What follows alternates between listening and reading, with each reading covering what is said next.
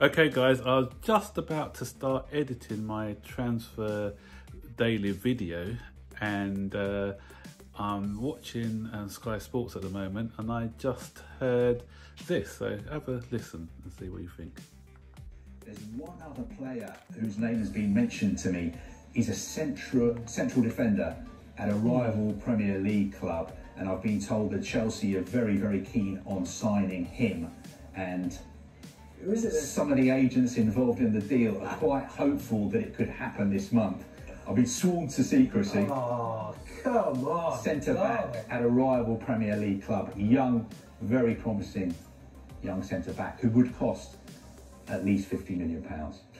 Right, well, Hmm, that's an interesting one. Who can that be?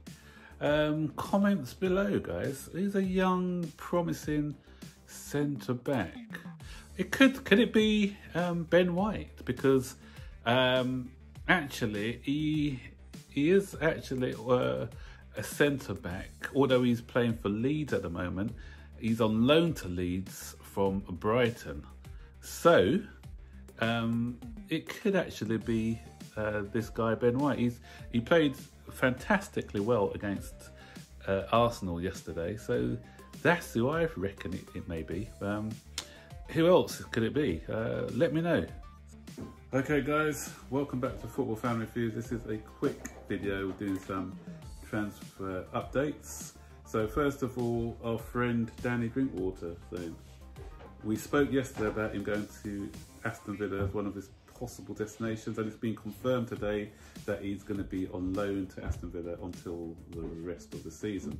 So good luck, Danny Drinkwater, and I hope you succeed there. He's going to be uh, playing under John Terry, who's assistant coach there. So um, was Drinkwater at the club at the same time as Terry, or I don't think they were, were they? Was he? I don't think he was. But yeah, so we'll see if we can resurrect his career at Aston Villa. Also, forgot to mention about the um, Danny Drinkwater transfer is that he's exchanging one claret and blue in Burnley for another claret and blue in Aston Villa. So if it doesn't work out at Aston Villa, you know his next destination, don't you? It's got to be West Ham. Also, we are now being linked with a left back called Robin Gosens. yeah, Robin Gosens. Um, he's he plays for Atalanta in um, Serie A, but he's actually a German fullback. Um, so Chelsea sent scouts to look at him the other day. I think um, Atalanta won 5-0, so they were impressed with him. So that's another name that we're looking at as an alternative to Ben Chilwell. Um, so watch this space for that one. Um, as I said, um, it's not concrete. It's just come out in a couple of um, news articles. So that's one maybe to look out for. And that's like probably a typical Chelsea one. After we're after these uh, Galactico left backs, and we end up with someone we never heard of. But it can be if our scouts have been doing a good job, could be a good one, or he can turn out to be another um, Baba. so yeah, we don't know. We'll see.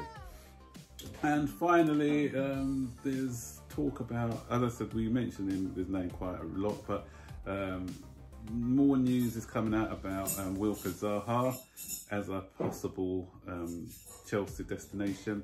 And this guy, Alfre, Alf, Alfredo Pedula, um, he got the Sarri story right last season, if you, or the season before last. How long did Sarri, no, sorry, it's only here for a season, wasn't it? So he got the Sarri one correct. And when he kept talking about hot talks, hot weeks, and it was just a few more days, Chelsea fans, and he got that one spot on. But because he got that Sarri one spot on, doesn't mean that he's spot on with the um, Zaha one. Because um, the thing is, the reason why he's got the Sarri one spot on is because he's got a lot of links in Italian football, and obviously, as we all know, um, Sarri is Italian, so that's probably he's got a lot of connections within Italy.